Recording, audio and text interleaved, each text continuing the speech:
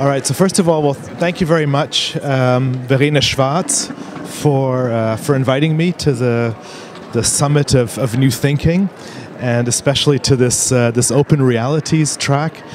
Um, my name is Stephen Kovats. I, among other things, used to be the artistic director of the Transmediale Festival, the Festival for Art and Digital Culture, here in Berlin. Um, many of my previous lives have been dealing with architecture and urbanism, and I left the Transmediale last year to basically fuse um, ideas related to um, open cultures, open technologies, uh, media, architecture, and urbanism.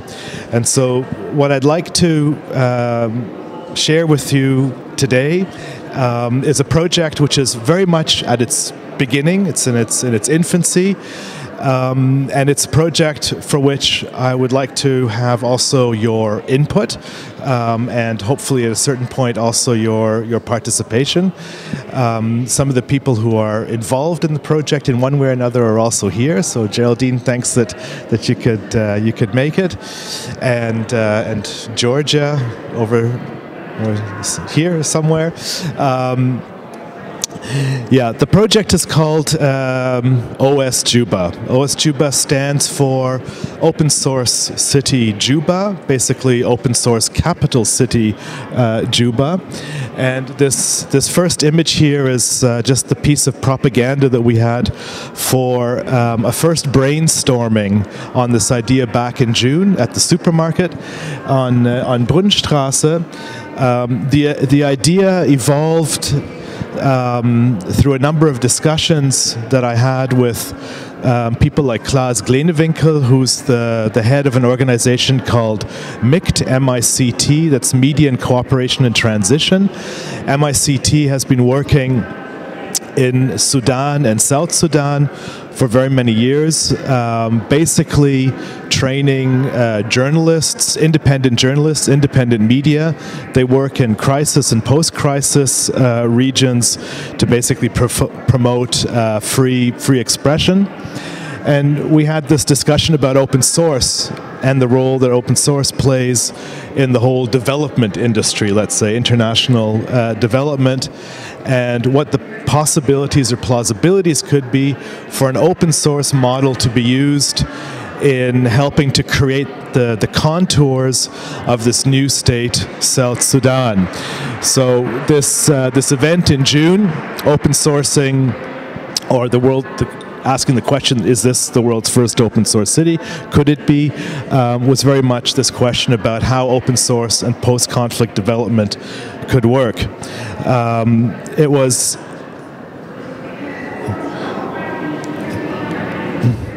somehow my computer is slowed down. Anyways, um, the event gathered together a number of, of people from Berlin's um, open source and strategic media um, communities, but also people from um, international open source organizations such as Ushahidi um, in Nairobi, as well as um, from the HONF organization in Indonesia. Um, German federal government uh, was there and some larger um, so called donor organizations. So all of a sudden it was clear that there is some kind of an interest in actually discussing the subject, which for a lot of us here is somehow um, pretty straightforward. I mean, it's kind of kind of obvious. I don't need to, uh, you know, spend too much time on why the open source model is, is perhaps a good one. Um, but just the, the, the, the, basic understanding of what open source is, um, what open technologies are, um, let's say moving into also the realm of open data and open hardware, uh, is something which is hardly uh, discussed in the real world of international um, development. And um, just we have this strange Vorführ effect here. This was all working. So here we are now uh, today at the Summit of New Thinking, which is about um, open open strategies. And the project has come to the point now that we've been invited to go to Juba um, in December to have a first meeting with um, the government of South Sudan with um, players in the in the field of international development in Juba, as well as civil society um, um, uh, leaders in in Juba, and basically we're we're designing this project right now as we speak, and that's of course one of the reasons to be here today. It's what what that could be. So I'll just give a, little bit of background to South Sudan and and to to Juba. Um, South Sudan is a is a relatively large country that became independent in 2011. Um, it uh, it broke off from Sudan, so what is now, I guess, the northern part, the rump uh, Sudan, after about 40 years of, of, uh, of civil war. And it's a country that is facing, um, of course, massive challenges.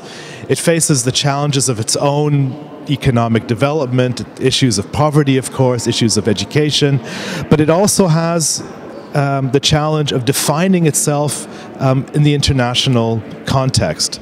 Um, very few people know about this state, about this country, and there is no clear, unifying cultural identity in the state. It's it's uh, it's a it's a multi multi ethnic, multicultural state made up of 10, 10 different provinces, which all has a very distinct um, cultural cultural identity, and it's um, in in the statistics.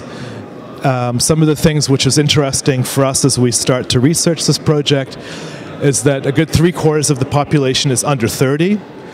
Um, and only about a quarter of the population is actually literate. And of course, of that quarter of that, uh, of, or of that uh, number, um, the vast majority are males. So there's a scenario also of incredibly low um, literacy rates amongst uh, women and girls, and this presents also some some interesting challenges, but also um, a lot of opportunities for doing things in, in a different uh, in a different kind of way. Um, Juba itself, the capital, um, was was chosen amongst a number of uh, small regional uh, capitals in the southern part of uh, of, uh, of, of Sudan.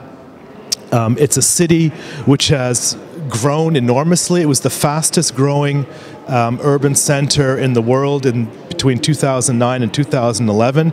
Basically, it had to go from being this little dusty uh, uh, capital uh, to the capital of a, of a new a new country.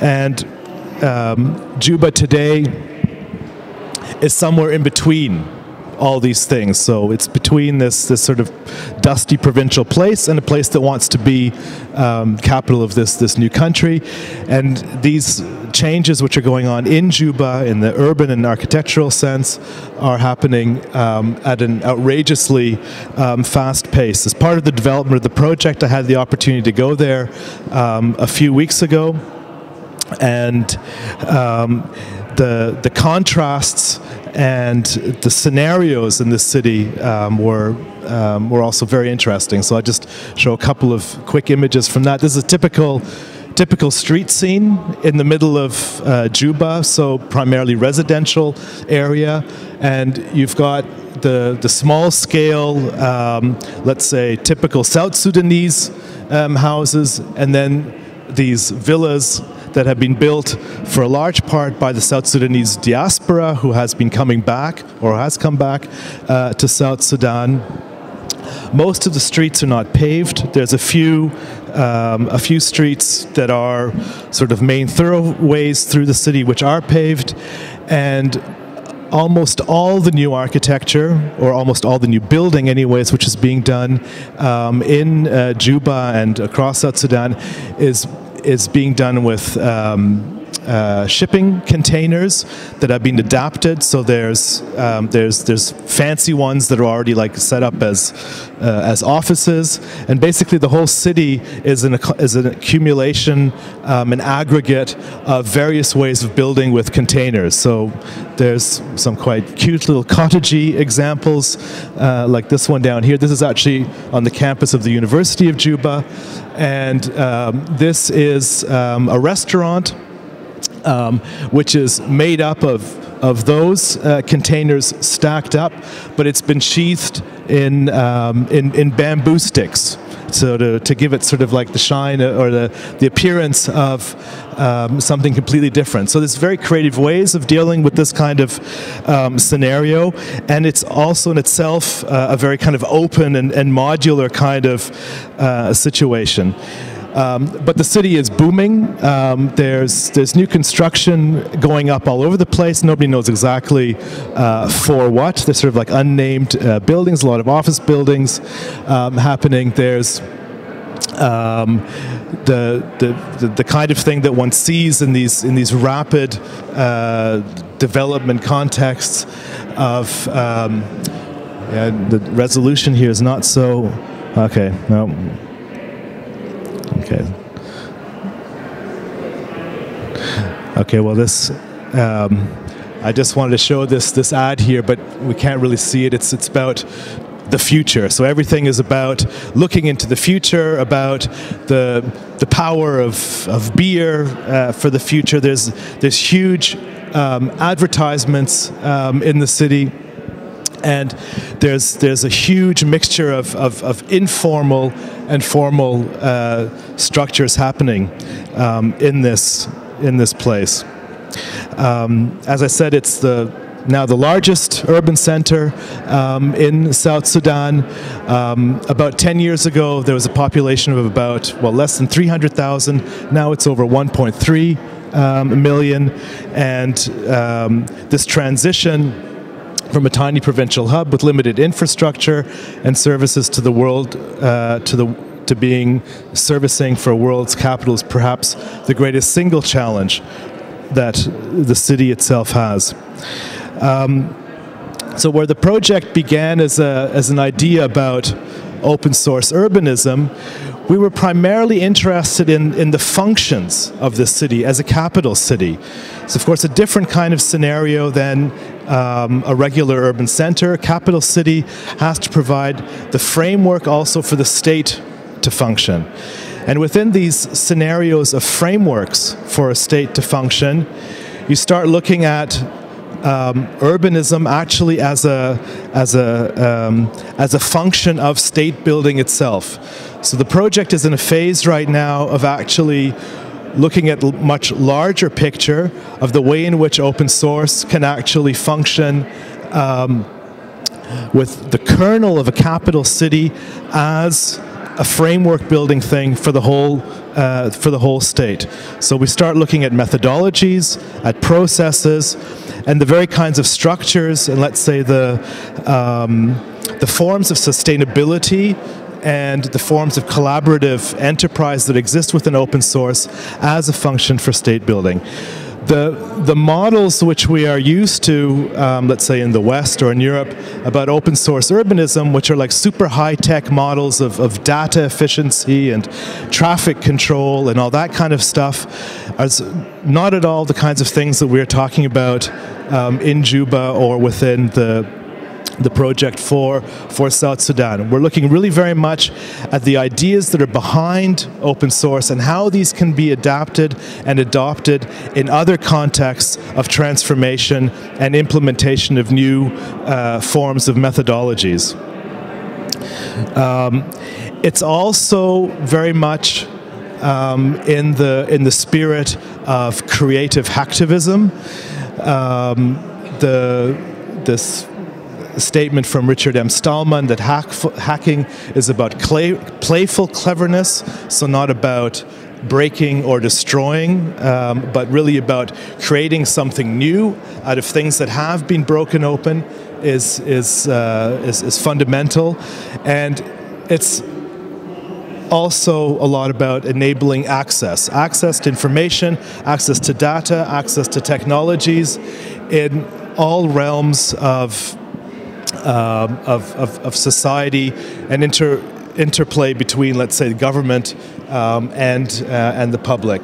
So the project um, is, um, is dealing um, at its core right now with how to define and how to structure um, situations of open data, open knowledge, and basically public domain info so that the people who are actually um, building a livelihood, that are trying to use um, the um, I guess, the euphoria that independence brought. How can they use this material that's in the public domain to actually create livelihoods without absolutely having to rely just on uh, donor countries, on donor organizations, or at least how can one create a form of collaboration that actually is sustainable so that these kinds of um, open structures can, um, can be used.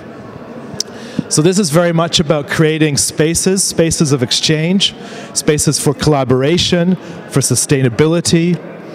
Um, it's very much about creating scenarios in which there's accountability and transparency and also participation in the public process.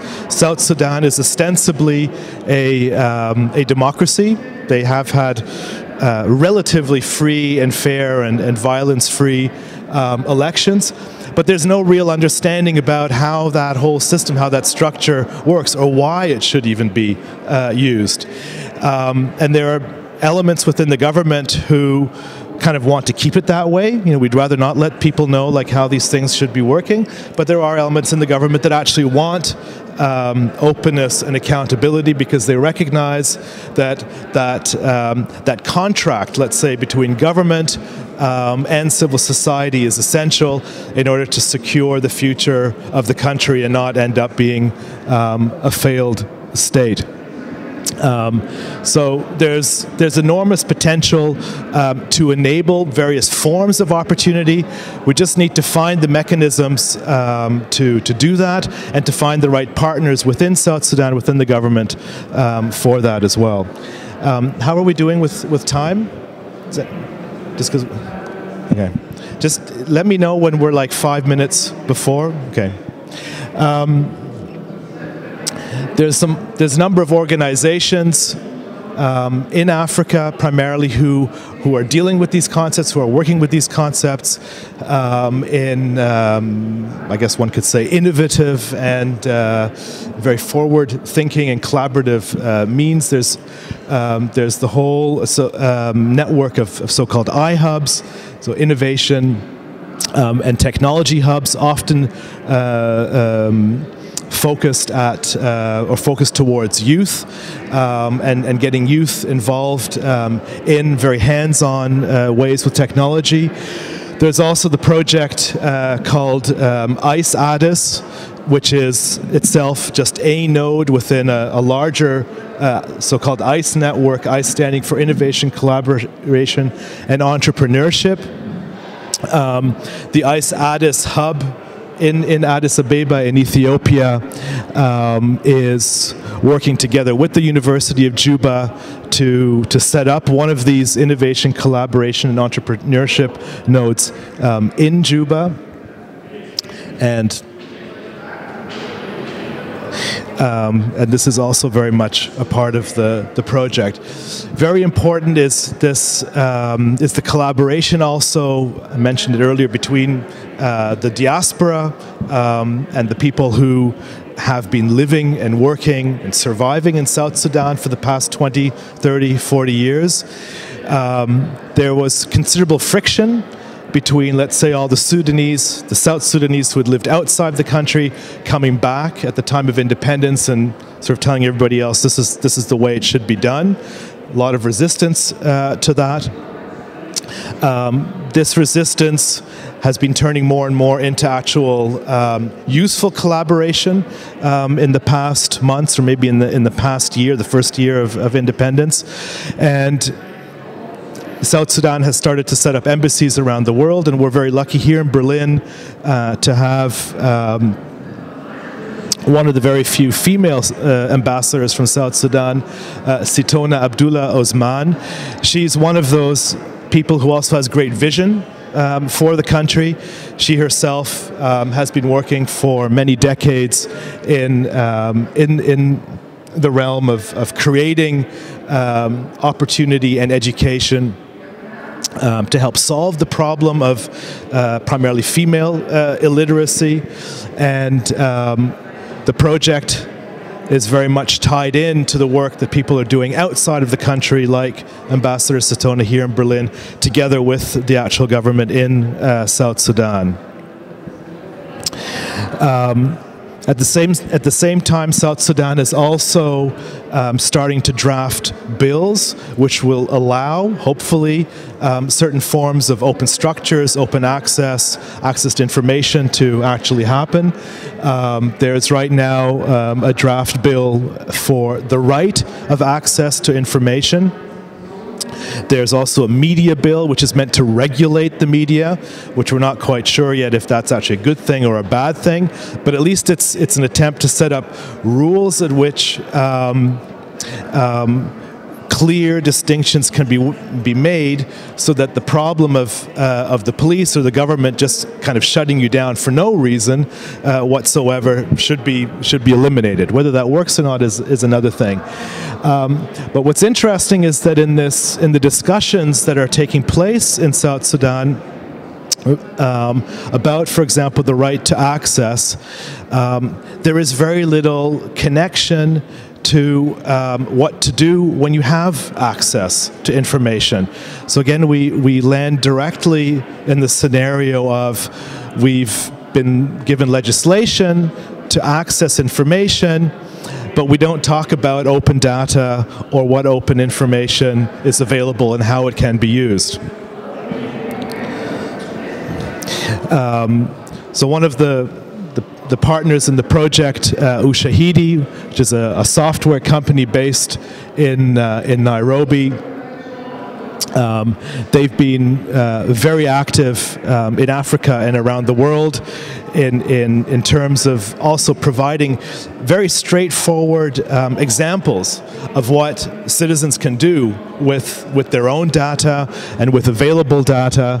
Um, their, their primary um, I guess, product are uh, um, crowd crowdsourcing platforms. So um, let's say statistical analysis that can be graphed um, to show certain kinds of trends. They do election monitoring, they do crisis management, but they also have projects that that uh, anybody can uh, can use. Um, there's one about um, kids and or, or, people in Serbia following sort of like who has guns and who doesn't. So it's a huge range of things, and um, yeah, we'll move on from there because then we get into a whole other area which we don't have time for. Yeah, so changing the way information flows um, in the world. That's their that's their headliner. Um, course, Ubuntu is also fundamentally um, important just as an example, one, one of very many um, open source solutions or platforms or softwares. Um, because we find also scenarios that organizations are operating um, with, let's say, proprietary software, completely unlicensed, one could say illegal. Um, so are there alternatives to that kind of scenario that then also save money in a, in a place that has uh, to be um, um, more effective, let's say, with the money that they have or, or don't have? For this, organizations like the Free Software and Open Source Foundation for Africa are incredibly important. Um, FOSSFA, um, this is a very strong network um, within Africa that has chapters in just about every country, every location um, in Africa, not yet in, in South Sudan. Um, and these kinds of organizations are important because they, they provide a kind of a peer structure. So when you, you talk to people in South Sudan, in the government, about ideas behind open source and open data, open systems, um, often there's, there's a fear. There's a fear of of, of the open, a fear of being, um, let's say, of having people peer in too closely to what you're actually doing without actually realizing that um, these kinds of mechanisms and the, materi- the materiality that uh, is being worked with is actually already part of the public domain or actually belongs to the citizens that should be using it. So organizations like the Free, uh, of, like FOSSFA, um, they they provide this kind of peer structure so that also governments um, can um, discuss these pro- these problems at a much higher um, a much higher level. There are organizations, again, this is one based here in Berlin, but operating um, internationally, which are also um, interesting elements within a project like um, this for, for South Sudan called um, Open Oil. Open Oil is um, it's basically a consultancy which is looking at and developing um, I guess you could call it solutions for how to open up the oil industry. A lot of the problems that exist within um, oil-based uh, economies or, or strong resource-based economies is, for example, um, there's absolutely no transparency between the, con- the, the level of where the contracts are and where the money is going and what it's being used for. And in a state like South Sudan, which ostensibly um, gets 98% of its revenue from oil, not knowing what the contract says about the oil is, is kind of a you know it's a serious serious problem it's a serious issue um, so Open Oil, uh, which has just released the South Sudan Oil Almanac, um, is an organization which is basically working also, I, suppose, through peer pressure um, and outside pressure to make these contracts um, open so that, for example, the finance minister even might know what kind of income is being generated in the country. Because if the finance minister doesn't get the material or the information coming from the contracts, which is often the case, he also can't or she also can't uh, plan for the development of, uh, of the country. Um, there are a number of other projects. There's very many. This is one uh, one example um, coming from uh, a participant who will be in uh, in Juba in December. Um, Eugenio Tisselli. He's a Mexican uh, based uh, artist, programmer, and creative hacker. Um, he has, for example, um, a software called uh, Ojo or Oyo uh, Voz, um, which is a, an, an, Android um, platform, open source um, software um, for sending images and voice messages from your telephone to the web.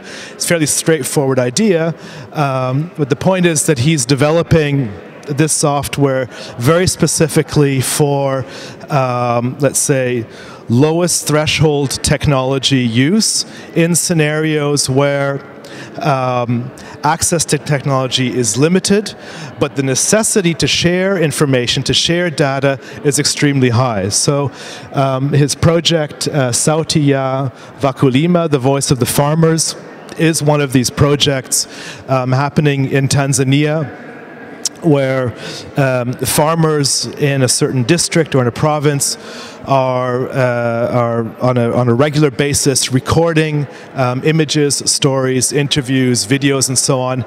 Um, about the effects of climate change on their crops. Um, this is, of course, a big issue. There's the one discussion that says there is no real climate change happening, and of course, there's the people on the ground who actually do see these changes from season to season.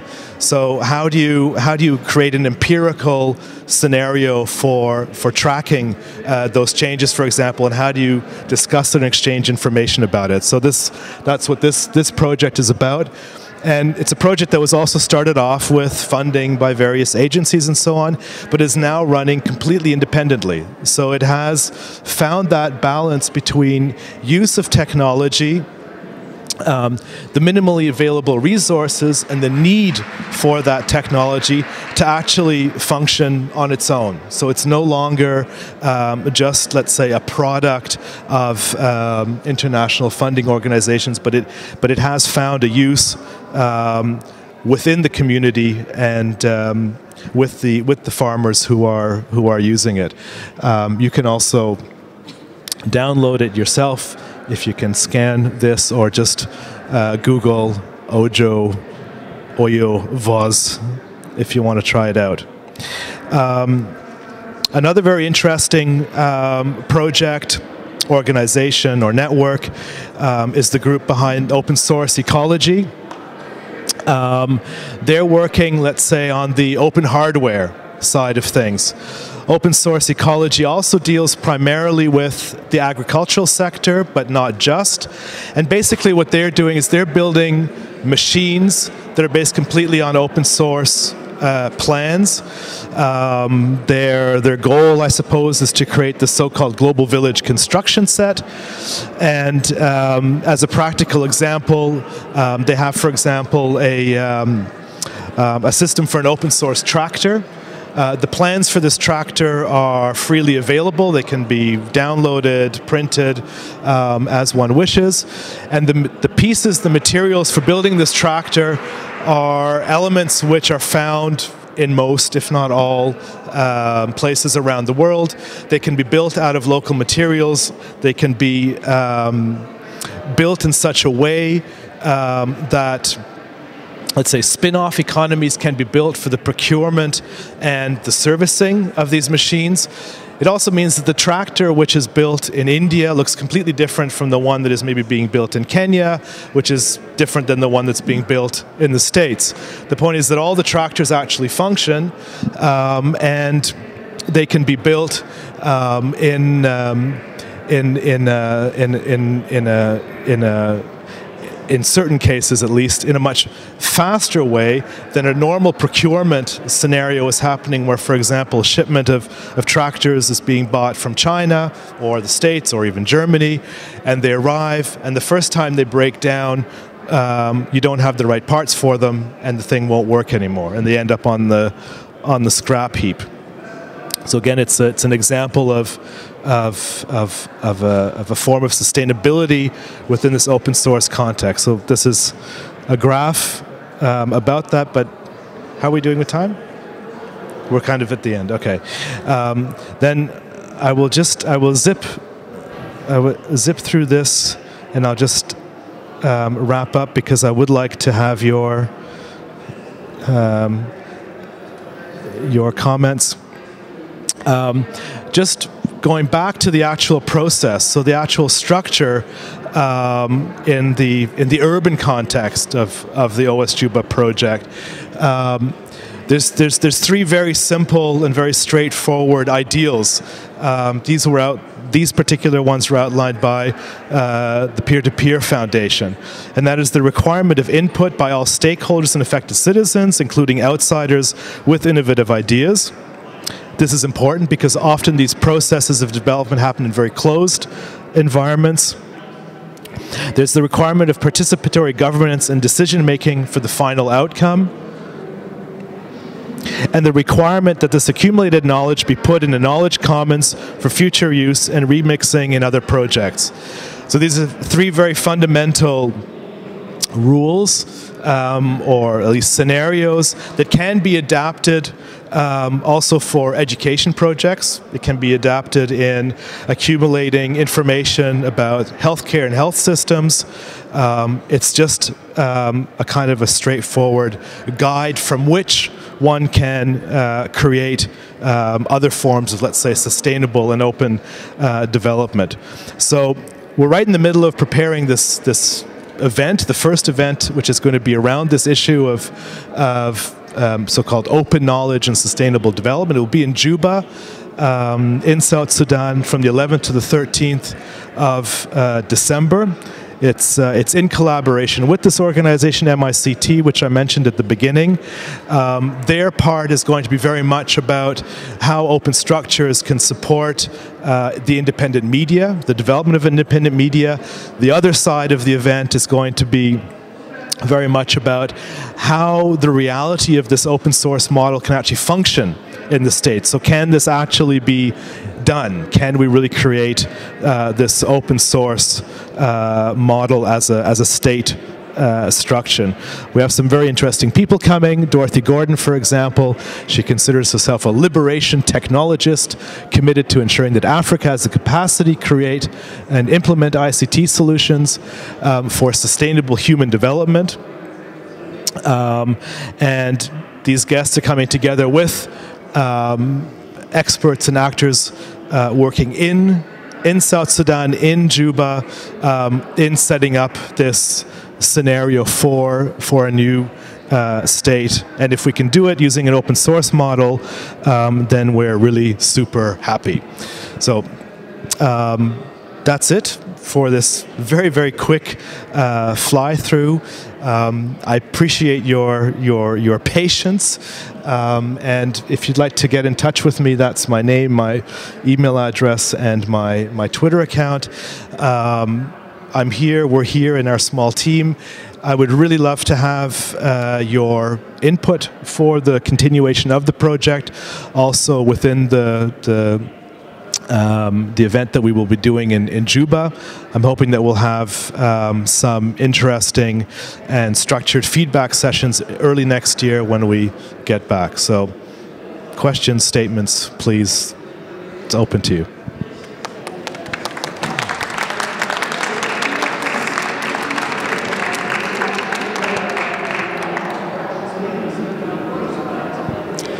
And if not, there's one guy. Can you come up uh, and get a mic because there's this there's this incredible sort of like a wall of silence here.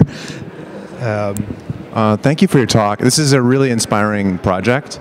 Um, I'm just curious. Uh, one of the challenges that uh, open governance has faced when it's been tried in other places, like the United States. Can you hear me? Yeah, speaking to the mic, but talk loud as well. I'm sorry. Yeah. One of the challenges that open governance has faced in other places where it's been tried, like in the United States, for example, is that transparency can sometimes expose problems or even in some cases corruption, um, but often we lack the means to actually take meaningful action to, to correct them. So I'm just wondering if you've kind of anticipated this, this challenge and, and how you might address it. Yeah. Well, this is this is actually what I meant, you know, by that fear factor. Um, you know, um, at, at, on the one hand, um, it, of course, it depends on which official you talk to. I mean, some actually do want to use these scenarios for uh, for eliminating uh, corruption, for uncovering corruption. Others don't really want to talk about that, but they, they like the idea of providing data in as efficient a way as possible so that people can use it for economic development, for example.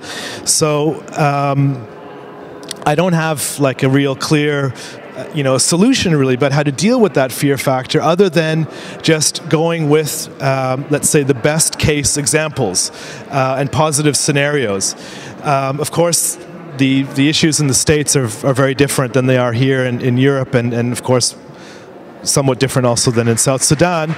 Um, but one of the one of the more interesting, um, I guess, organizations or networks is the um, the Open Government um, Partnership, of which some African countries like Tanzania, Kenya, South Africa um, are leaders in. And the Open Government Partnership is again uh, I guess one of these kind of global peer pressure groups that you can actually, on a policy level and a government level, talk about the positive uh, elements of, of, of, of open data and open government um, without, let's say, worrying about um, what will happen if mm, the embarrassing stuff uh, gets out. Because you can see that in Tanzania it's actually working, and in Kenya it's actually uh, working. So it's important to basically to also have that dialogue started. So even the the discussion, uh, the the very basic discussion itself has to be uh, has to be opened up, and. Um, and just sort of dealing basically with that fear, that fear factor is the biggest biggest challenge probably.